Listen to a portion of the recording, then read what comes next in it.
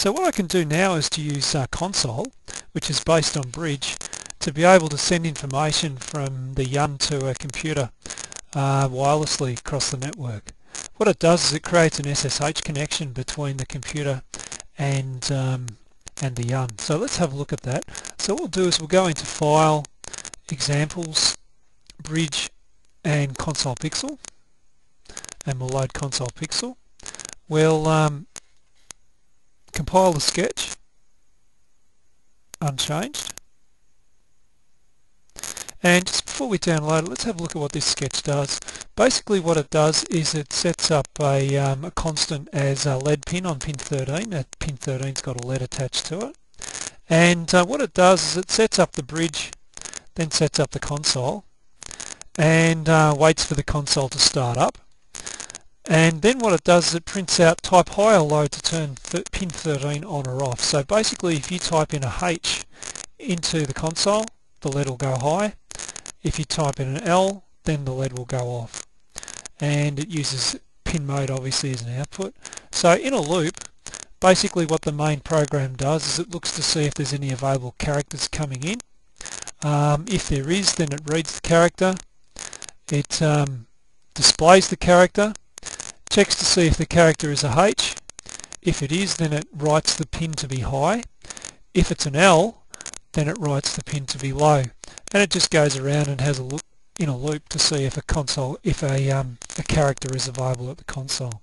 Okay, so let's um, let's try um, downloading this, and um, we'll we'll see how we can run it using um, using SSH.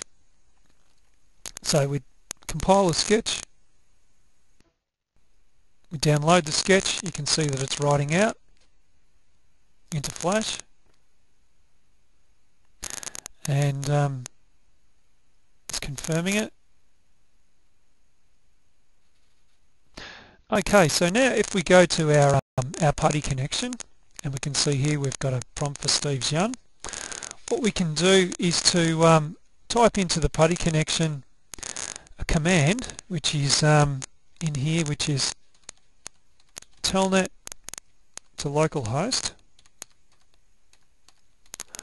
on port 6571. Now what that does is that um, that telnet connection then connects to the um, to the console. So we can have a look at the output of the console. And you can see here we've got type HRL to turn pin 13 on or off. I'll just move that over here so we can compare it to the um, to the actual code here. This is their console.println. line. Yep. So we'll type a H, put in caps lock and type in a H. And you can't see this, but the um, the red LED's just come on, and it's echoed back a H. So now I'll put in an L, and uh, you can't see this, but the um, the LED's turned off again. So H, LED on, L, LED off. So what we've done in this example is we've been able to run this this um, console pixel sketch within the um, the Arduino processor. And we've used the console to bridge between the Arduino processor and the Linux processor. And uh, we've puttied into we've puttied into Linux and uh, with our SSH connection. And we've run the telnet to localhost port 6571 which is essentially the console bridge which is um, echoing the console into um, on into the um, into the Linux